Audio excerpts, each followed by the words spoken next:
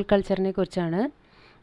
Pearl എന്ന് പറഞ്ഞാൽ it's a natural gem bivalve molluscs produce ചെയ്യുന്ന നാച്ചുറൽ ആയിട്ടുള്ള ജെമ്മിനെ നമ്മൾ പേൾ എന്ന് പറയുക അത് പ്രൊഡ്യൂസ് ചെയ്യുന്ന ഓയിസ്റ്റേഴ്സിനെ പേൾ ഓയിസ്റ്റേഴ്സ് എന്ന് പറയും. They belong to the class bivalvia or class pelecypod of phylum mollusca ഈ പേൾ പ്രൊഡ്യൂസ് ചെയ്യുന്ന ഈ മൊളസ്കിനെ നമ്മൾ ഓയിസ്റ്റേഴ്സ് എന്ന് വിളിക്കുക പേൾ ഓയിസ്റ്റേഴ്സ് ആൻഡ് ഓയിസ്റ്റേഴ്സ് എങ്ങനെയാണെന്ന് വെച്ചാൽ സിഡൻഡറി ആയിട്ടുള്ള അതായത് റോക്കിലൊക്കെ അറ്റാച്ച് ചെയ്ത് ജീവിക്കുന്ന കൂട്ടത്തോടെ ഗ്രിഗേറിയസ് ആയിട്ട് ഗ്രൂപ്പ്സ് ആയിട്ട് ജീവിക്കുന്ന ഓർഗാനിസംസ് ആണ്.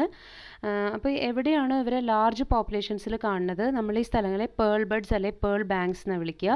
പിന്നെ അവരുടെ ഒരു ഫീഡിങ് മോഡ് എന്ന് പറഞ്ഞാൽ അവർ ഫിൽറ്റർ ഫീഡേഴ്സാണ് പിന്നെ വൺസ് ഇയർ അവർ ടു ടൈംസ് അവർ സ്പോൺ ചെയ്യും. അതായത് ദേ റീപ്രൊഡ്യൂസ് പിന്നെ ഇവർക്കൊരു ലാർവൽ സ്റ്റേജ് ഉണ്ട്. ആ ലാർവൽ സ്റ്റേജ് ഒരു ഷോർട്ട് പീരീഡ് ഓഫ് ടൈം ഡ്യൂറേഷനേ ഉള്ളൂ. ആ സമയത്ത് അവർ ഫ്രീ സ്വിമ്മിംഗ് ആയിരിക്കും. ആൻഡ് ലേറ്റർ ഓൺ അവർ ജുവനൈൽസ് ആകും. എവിടെയെങ്കിലും സെറ്റിൽ ചെയ്യും. ആ സെറ്റിൽ ചെയ്യുന്ന ജുവനൈൽസിനെ നമ്മൾ സ്പാറ്റ്സ് എന്നാണ് വിളിക്കുക സ്പാറ്റ്സ് കുറേ കഴിഞ്ഞ് മെച്ചുവറായിട്ട് അഡൽസ് ആവും. അപ്പോൾ ഇനി നമുക്ക് പഠിക്കാനുള്ള ഏതൊക്കെ സ്പീഷീസ് ഓഫ് ഓയിസ്റ്റേഴ്സ് ആണ് പേൾ പ്രൊഡ്യൂസ് ചെയ്യുന്നതെന്നാണ്. ശരിക്കും മറൈൻ ഓയിസ്റ്റേഴ്സും ഫ്രഷ് വാട്ടർ ഓയിസ്റ്റേഴ്സും ഉണ്ട് പേൾസ് പ്രൊഡ്യൂസ് ചെയ്യുന്നത്.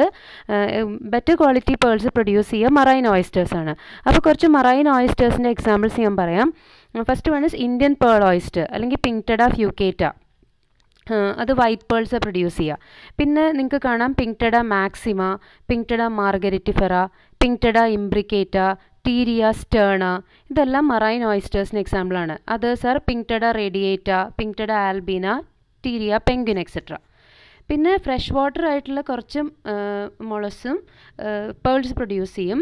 ആ ഫ്രഷ് വാട്ടർ ആയിട്ടുള്ള പേൾ പ്രൊഡ്യൂസ് ചെയ്യും മൊളസ്കിന് എക്സാമ്പിളാണ് ഹൈറിയോപ്സിസ് ഷ്ലെഗലി ലെമലിഡൻസ് മാർഗിൻ മാർജിനാലിസ് യൂണിയോ മാർഗരറ്റിഫറ അതിൽ യൂണിയോ മാർഗരറ്റിഫറയാണ് ഫ്രഷ് വാട്ടർ പേൾ പ്രൊഡ്യൂസിങ് ഓയിസ്റ്റേഴ്സിൽ നല്ല ക്വാളിറ്റി പേൾസ് പ്രൊഡ്യൂസ് ചെയ്യുക പിന്നെ നമുക്ക് ഡിഫറെന്റ് സ്പീഷീസിനെ കുറിച്ച് പഠിക്കാനുള്ളത് രണ്ടെണ്ണം pinctada fucata and pinctada margaritifera pinctada fucata എന്ന് പറഞ്ഞാൽ ഏറ്റവും ഇന്ത്യയിൽ കാണുന്ന ഏറ്റവും dominant species of pearl producing oyster ആണ്. അത് ശരിക്കും രണ്ട് സ്ഥലത്താണ് ഇന്ത്യയിൽ പേൾ ഫിഷറി നടക്കുന്നത്. ഒന്ന് തമിഴ്നാട്ടിലുള്ള ഗൾഫ് ഓഫ് മന്നാർ തൂത്തുക്കുടി കോസ്റ്റിൽ നിന്ന് ഒരു twelve to twenty kilometre ദൂരെയായിട്ട് fifteen to twenty five metre ഡെപ്തിൽ ആ സ്ഥലങ്ങളെ അവർ പാരെന്ന് വിളിക്കുക പിന്നെ ഗുജറാത്തിൽ ഗൾഫ് ഓഫ് കച്ച് എന്ന് പറയും. അവിടെ ഇൻഡർടൈഡൽ റീജിയനിൽ ഒരു ഫോർട്ടി ഫോർ മീറ്റർ ഡെപ്തിലൊക്കെ കാണുന്ന പേൾ ബാങ്ക്സിനെ ഗൾഫ് ഓഫ് കച്ച് അല്ലെങ്കിൽ ഖഡാസ് എന്ന് വിളിക്കും. അപ്പോൾ ഈ സ്ഥലങ്ങളിലൊക്കെ ഏറ്റവും ഡോമിനന്റ് ആയിട്ട് കാണുന്ന സ്പീഷീസ് പിങ്ക്ടഡ ഫ്യൂക്കേറ്റ ആണ് ഇനി അടുത്ത് പിങ്ക്ടഡ മാർഗരിറ്റിഫറ പിങ്ക്ടഡ മാർഗരിറ്റിഫറ എന്ന് പറഞ്ഞാൽ അത് ബ്ലാക്ക് ലിപ്പ് പേളോയിസ്റ്റ് എന്നാണ് അതിന്റെ കോമൺ നെയിം അതാണ് steel black pearls half pearls ഒക്കെ തരുന്നത്. ഹാഫ് പേൾസ് എന്ന് പറഞ്ഞാൽ ഫുൾ സ്ഫിയർ അല്ലാത്ത ഹെമിസ്ഫിയറിക്കൽ ആയിട്ടുള്ള പേൾസ് ഇത് കൂടുതലായിട്ട് കാണുന്ന ആൻഡമാൻ ആൻഡ് നിക്കോബാർ റീജിയനിലാണ്. പിന്നെ നമുക്കറിയാം ഈ പേൾ എന്ന് പറയുന്നത് ഒരു ഭയങ്കര കോസ്റ്റ്ലി ആയിട്ടുള്ളൊരു ജെമ്മാണ്. ഇറ്റ്സ് എ ഹൈ വാല്യൂ അതുമാത്രമല്ല പേൾ അതുകൊണ്ട് അവരുടെ അതുകൊണ്ട് ഓയിസ്റ്റേഴ്സിന്റെ ഹാർവെസ്റ്റ് വളരെ കൂടുതലാണ്. And that leads to over exploitation of oyster population അപ്പോൾ അതൊക്കെ കാരണം ഈ പേൾ ഫിഷറി എന്ന് പറയുന്നത് ശരിക്കും ഗവൺമെന്റ് കൺട്രോളിലാണ്. പിന്നെ പേളിന്റെ കെമിക്കൽ നേച്ചർ എടുക്കുകയാണെങ്കിൽ അതിൽ ninety two percentage calcium carbonate ആണ്. ബാക്കി iron copper aluminium magnesium manganese strontium sodium barium silicon ഇതൊക്കെ ഉണ്ട്. പിന്നെ ഒരു ഫോർ പേഴ്സന്റ് ഓർഗാനിക് സബ്സ്റ്റൻസസും ഉണ്ട് പേളിൽ എസ്പെഷ്യലി അതിൽ കാണുന്ന ഒരു പ്രോട്ടീനാണ് കോങ്കിയോലിൻ എന്ന് പറയുന്നത്. പിന്നെ ഈ പേളിന്റെ ഈ ലസ്റ്റ് അതായത് അതിന്റെ ആ ഷൈനിങ്ങും ഇറിഡസൻസും ഒക്കെ ഡിറ്റർമിൻ ചെയ്യുന്നത് എത്ര എങ്ങനെയാണ് കാൽഷ്യം കാർബണേറ്റ് ക്രിസ്റ്റൽസ് അറേഞ്ച് ചെയ്തിരിക്കുന്നത് എത്ര ഇനോർഗാനിക് എലമെൻസിൽ ബാക്കിയുള്ള ഇനോർഗാനിക് എലമെൻസിന്റെ പ്രൊപ്പോർഷൻ ഇതിനെയൊക്കെ ആശ്രയിച്ചിരിക്കും. ഇനി എങ്ങനെയാണ് പേൾ ഉണ്ടാവുന്നത്? ഓയിസ്റ്ററിന്റെ അകത്ത്. ശരിക്കും ഒരു ഓയിസ്റ്ററിന്റെ അകത്തൊരു പേൾ ഉണ്ടാവുന്നത് ശരിക്കും അതിന്റെ ഒരു റെസ്പോൺസ് ആണ്. ഓയിസ്റ്ററിന് എന്തെങ്കിലും ഒരു ഇറിറ്റേഷൻ ഉണ്ടായാലാണ് അതിന്റെ ഉള്ളിൽ പേൾ ഉണ്ടാവുക. അപ്പം നമുക്ക് ഈ ഡയഗ്രത്തിൽ കാണാൻ സാധിക്കും. ഇതിന് നിങ്ങൾ പഠിച്ചിട്ടുണ്ട് ഫൈലം മൊളസ്കയിൽ മൊളസ്ക്സിന് ഒരു കാൽഷ്യം കാർബണേറ്റ് ഷെല്ലുണ്ട് അപ്പോൾ ഇവിടെ ഈ ഡയഗ്രത്തിൽ കാണുന്ന ആഷ് പോർഷൻ എന്ന് പറയുന്നത് അതിന്റെ ഷെല്ലാണ്. ആ ഷെല്ല് കഴിഞ്ഞിട്ട് ഒരു സ്കിൻ പീസ് ഉണ്ട് വിച്ച് ഇസ് കോൾഡ് മാന്റിൽ. അപ്പോൾ എന്തെങ്കിലും ഒരു ഫോറിൻ പാർട്ടിക്കിൾ സപ്പോസ് മാൻഡലിന്റെ ഷെല്ലിന്റെ ഇടയിലുള്ള സ്പേസിൽ അറിയാതെ എന്റർ ചെയ്തു എന്ന് വിചാരിക്കുക അപ്പം നാച്ചുറൽ പേൾ ഫോർമേഷന്റെ കാര്യമാണ് പറയണേ. അപ്പോൾ എന്ത് പറ്റും? അപ്പം മാൻഡൽ എന്ന് പറയുന്നത് it's a kind of skin which is covering the visceral organs അപ്പോൾ when a foreign particle enters in the space between the shell and the mantle ഈ മാന്റിൽ എപ്പിത്തീലിയം ഇറിറ്റേറ്റഡ് ആവും. അപ്പോൾ ഈ മാന്റൽ എപ്പിത്തിയിൽ എന്ത് ചെയ്യും? When it gets irritated it starts producing a substance around the foreign body അപ്പോൾ ഈ foreign ബോഡിക്ക് ചുറ്റും ഇത് പ്രൊഡ്യൂസ് ചെയ്യുന്നത് ശരിക്കും ആ മാന്റൽ എപ്പിത്തീലിയൽ ലെയർ തന്നെയാണ്. അതിനെ വിളിക്കുന്ന പേരാണ് മദർ പേൾ അല്ലെങ്കിൽ നെയ്ക്കർ എന്ന് പറയും. So that substance is called as nacre or mother pearl ഇത് കുറച്ച് കഴിയുമ്പോൾ ഈ ഫോറിൻ ബോഡിക്ക് ചുറ്റും ഈ ഇതിലെ ഈ എപ്പിത്തീലിയത്തിലെ ഗ്ലാൻഡ് സെൽസ് പ്രൊഡ്യൂസ് ചെയ്യുന്ന സെക്രീഷൻസ് ഇങ്ങനെ അഗ്രിഗേറ്റ് ചെയ്ത് അഗ്രിഗേറ്റ് ചെയ്ത് ഫൈനലി അത് നാച്ചുറൽ പേളായിട്ട് ഡെവലപ്പ് ചെയ്യും. അപ്പോൾ ആ ഉണ്ടാകുന്ന പേളിന്റെ സൈസ് എന്ന് പറയുന്നത് ഡിഗ്രി ഓഫ് ഇറിറ്റേഷന് അനുസരിച്ചിരിക്കും. How much the organism is getting irritated അതനുസരിച്ചിട്ട് പേളിന്റെ വലിപ്പം കൂടാൻ കുറയാം. ആൻഡ് ഇൻ ദിസ് ഡയഗ്രാം നിങ്ങൾക്ക് ഒരു ഒരു പേളിൽ ഒരു പേൾ ഓയിസ്റ്ററിന്റെ വിസറ ഡിസെക്ട് ചെയ്ത് വെച്ചിരിക്കുന്നതാണ്. ഇനി അടുത്തത് അപ്പോൾ നമുക്ക് ഓൾറെഡി മനസ്സിലായി how is natural pearl produced അതുകൊണ്ട് തന്നെ many biologists started working on how to produce pearls artificially അപ്പോൾ that process is called as pearl culture ഈ പേളി കൾച്ചർ ആദ്യം ഡെവലപ്പ് ചെയ്തത് ഒരു ബ്രിട്ടീഷ് ബയോളജിസ്റ്റാണ് വില്യം സാവിൽ കെന്റ് അദ്ദേഹം ഈ ഇൻഫർമേഷൻ രണ്ട് ജാപ്പനീസ് ശാസ്ത്രജ്ഞർക്ക് പാസ് ചെയ്തു. മിസ്സേ ആൻഡ് നിഷിക്കാവ ഫ്രം ജപ്പാൻ പിന്നെ ഇന്ത്യയിലും pearl production C M F R I Central Marine Fisheries Research Institute nineteen seventy ത്രീയിൽ ഒരു മെത്തേഡ് ഡെവലപ്പ് ചെയ്തിട്ടുണ്ട്. അതാണ് ഇപ്പോൾ ഇവിടെ ഫോളോ ചെയ്യുന്നത്. അപ്പോൾ എന്തൊക്കെയായാലും ഇതിന്റെ ബേസിക് പ്രോസസ്സ് എന്ന് പറയുന്നത് ഈ നമുക്കറിയാം മാന്റിൽ മാന്റിലാണ് ശരിക്കും പേൾ പ്രൊഡ്യൂസ് ചെയ്യുന്ന എപ്പിത്തീലിയം അപ്പോൾ ഇതിനു വേണ്ടി നമ്മൾ രണ്ട് ഓയിസ്റ്റേഴ്സിനെ സെലക്ട് ചെയ്യണം. One is called as the donor and the other is called as the recipient അപ്പോൾ ഡോണർ ഓയിസ്റ്റർ എന്ന് പറഞ്ഞാൽ ഡോണർ ഓയിസ്റ്ററിന്റെ മാന്റിലാണ് കട്ട് ചെയ്തെടുക്കുക. എന്നിട്ട് അത് അത് ഒരു ഫോറിൻ ബോഡിക്ക് ചുറ്റും പൊതിയും. എന്നിട്ട് ഈ ഫോറിൻ ബോഡിക്ക് ചുറ്റും പൊതിഞ്ഞ് ഈ മാൻഡിൽ ടിഷ്യൂ ശരിക്കും ഒരു mantle tissue will form a bag around the foreign body ഇതിനെ നമ്മളൊരു റെസിപ്പിയന്റ് ഓയിസ്റ്ററിന്റെ അകത്തേക്ക് ഇൻസേർട്ട് ചെയ്യും സർജറി വഴി. ആ റെസിപ്പിയന്റ് ഓയിസ്റ്ററിന്റെ അകത്തിരുന്നിട്ട് ഈ ഫോറിൻ ബോഡിക്ക് ചുറ്റും അതിന്റെ ചുറ്റും നമ്മൾ കൊടുത്തിട്ടുള്ള സാക്ക് അതായത് ആ മാൻഡൽ ടിഷ്യൂ പേൾ പ്രൊഡ്യൂസ് ചെയ്യാൻ തുടങ്ങും. സോ ഇതാണ് ശരിക്കും പേൾ കൾച്ചറിന്റെ ബേസിക് പ്രിൻസിപ്പിൾ എന്ന് പറയുന്നത്. ഇനി എന്റെ സ്റ്റെപ്സ് എന്തൊക്കെയാണ്? ഒന്ന് we have to select the host and we have to prepare it അത് ഹോസ്റ്റ് എന്ന് പറഞ്ഞാൽ that oyster from which we select the mantle tissue പിന്നെ അത് കഴിഞ്ഞാൽ ന്യൂക്ലിയസ് ഇൻസേർഷൻ ന്യൂക്ലിയസ് എന്ന് പറഞ്ഞാൽ the foreign particle which we insert to get the pearl പിന്നെ ആ ന്യൂക്ലിയസിനെ ഇംപ്ലാന്റ് ചെയ്യണം ആരിലേക്ക് റെസിപ്പിയന്റ് ഓയിസ്റ്ററിലേക്ക് അപ്പോൾ നമ്മളിത് ഇൻസേർട്ട് ചെയ്യുന്നത് സർജറി വഴിയാണ്.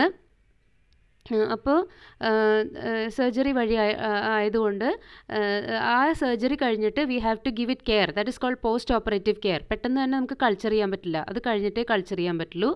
അത് കഴിഞ്ഞാൽ നമ്മളതിനെ കൾച്ചർ ചെയ്യാൻ വിടുക. That's called post operative culture അത് കഴിഞ്ഞ് ആ കൾച്ചർ പീരീഡ് അത് മാസങ്ങളായിരിക്കും. അത് കഴിഞ്ഞ് പേൾസ് കളക്ട് ചെയ്യുക അപ്പോൾ ഫസ്റ്റത്തെ സ്റ്റെപ്പ് എന്ന് പറഞ്ഞാൽ selection and preparation of host ആണ്.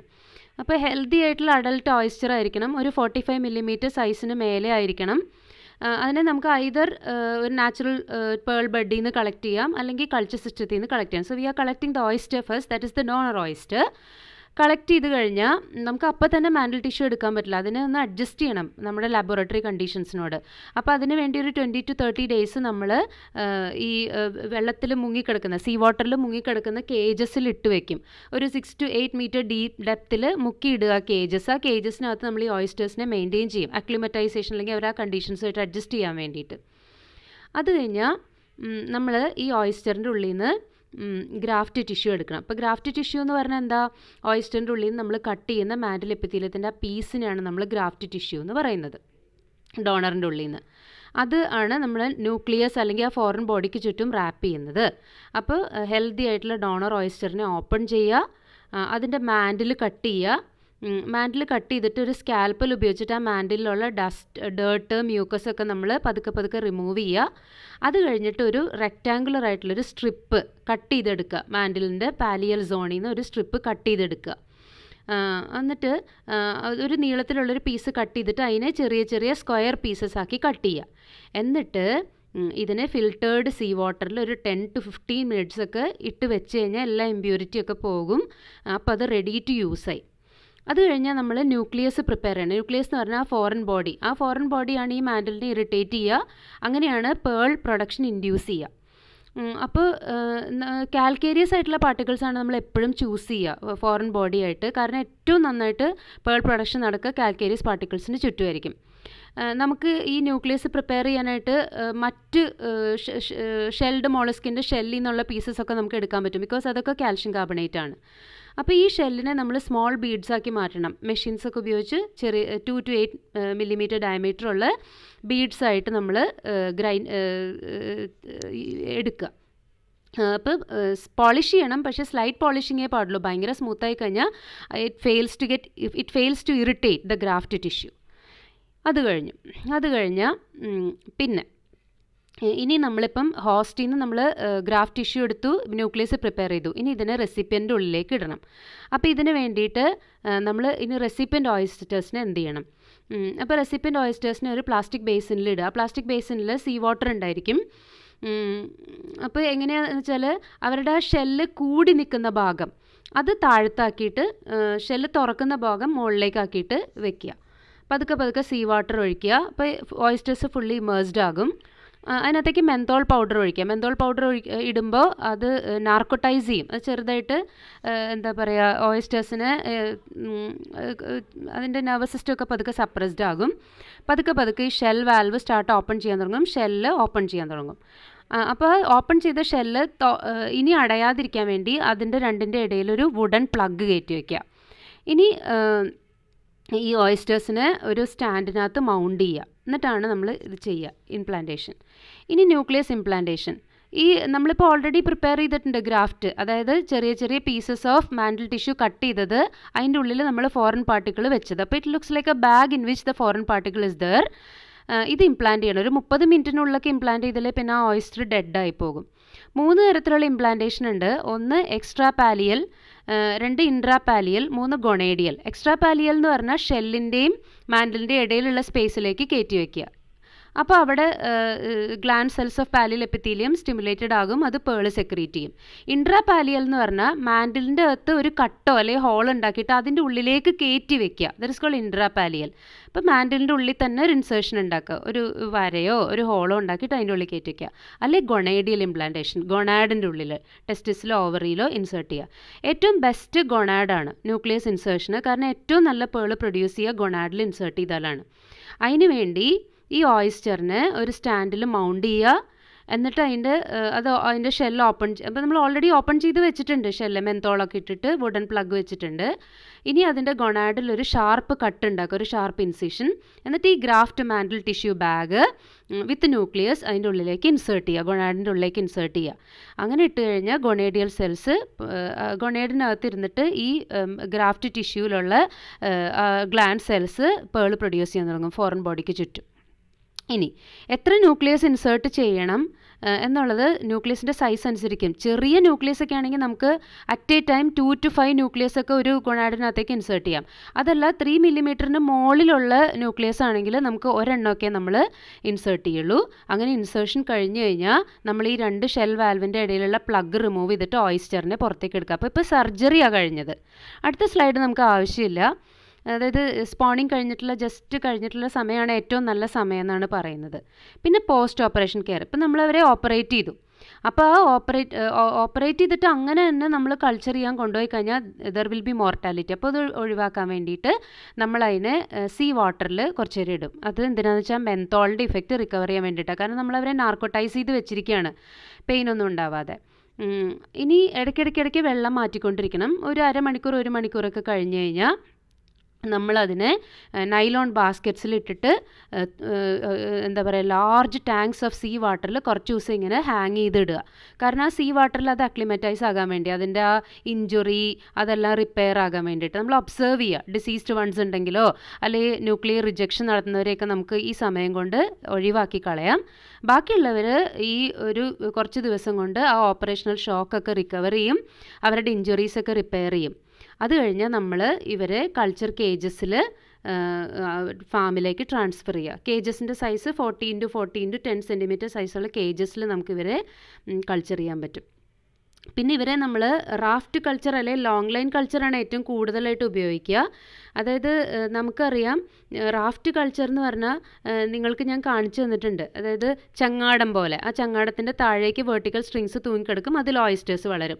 അല്ലെങ്കിൽ ലോങ് ലൈൻ കൾച്ചർ എന്ന് പറഞ്ഞാൽ കടലിൽ നല്ല നീളത്തിലുള്ള കയറുകൾ ഒറിസോണ്ടൽ ആയിട്ടുള്ള കയറുകളിൽ വെർട്ടിക്കൽ സ്ട്രിങ്സ് ഉണ്ടായിരിക്കും. ആ വെർട്ടിക്കൽ സ്ട്രിങ്സിൽ നിന്നും താഴേക്ക് ഓയിസ്റ്റേഴ്സ് തൂങ്ങിക്കിടങ്ങും. കുറച്ച് മാസം കഴിഞ്ഞാൽ നമുക്ക് ഇടയ്ക്ക് ഈ ഓയിസ്റ്റേഴ്സിനെ എടുത്ത് ചെക്ക് ചെയ്യാം. എക്സ്റേ ചെയ്യാം. അതായത് ഇവർ എന്തെങ്കിലും പേൾ പ്രൊഡ്യൂസ് ചെയ്യാവുന്നുണ്ടോ എന്നൊക്കെ നമുക്ക് എക്സ്റേ ചെയ്ത് ഇടയ്ക്ക് നോക്കാൻ പറ്റും. പിന്നെ ക്ലീൻ ആയിട്ടുള്ള കാം ആയിട്ടുള്ള ഷെൽട്ടേർഡ് ആയിട്ടുള്ള വാട്ടർ ബോഡീസിലാണ് നല്ല പേൾസ് നമുക്ക് പ്രൊഡ്യൂസ് ചെയ്യാൻ പറ്റുക. പിന്നെ എത്ര നാൾ കൾച്ചർ ചെയ്യണം എന്നുള്ളതൊക്കെ നമ്മളുടെ പേളിന്റെ റിക്വയർഡ് സൈസ് അനുസരിച്ചിരിക്കും. ഇതെല്ലാം കഴിഞ്ഞ് ഫുൾ ഗ്രോത്ത് ആൻഡ് സൈസ് ആയി കഴിഞ്ഞാൽ നമ്മൾ ഈ ഓയിസ്റ്റേഴ്സിനെ ഷോറിലേക്ക് കൊണ്ടുവരിക. അത് കഴിഞ്ഞാൽ കില്ല് ചെയ്യും. അവരുടെ ഷെൽസൊക്കെ റിമൂവ് ചെയ്യും. കുറച്ച് കഴിയുമ്പോൾ ബോഡി ഡിക്കമ്പോസ് ചെയ്യാൻ തുടങ്ങും. അത് ഇടയ്ക്കിടയ്ക്ക് ഇടയ്ക്ക് ഇങ്ങനെ ബേ ഒരു കണ്ടെയ്നറിൽ വെള്ളം മാറ്റി മാറ്റി മാറ്റി മാറ്റി അതിനെ വാഷ് ചെയ്തുകൊണ്ടേയിരിക്കണം കുറേ കഴിയുമ്പോൾ എന്ത് പറ്റും? ഈ ഡിക്കമ്പോസ്ഡ് ബോഡിയിൽ നിന്ന് പേൾസ് ഈ കണ്ടെയ്നറിന്റെ അടിയിൽ വന്നിട്ട് സെറ്റിലാവും എന്നിട്ട് ഈ പേൾസിനെ കളക്ട് ചെയ്ത് അവരെ സോർട്ട് ചെയ്യുക based on their size and quality അത്രയാണ് പേൾ കൾച്ചർ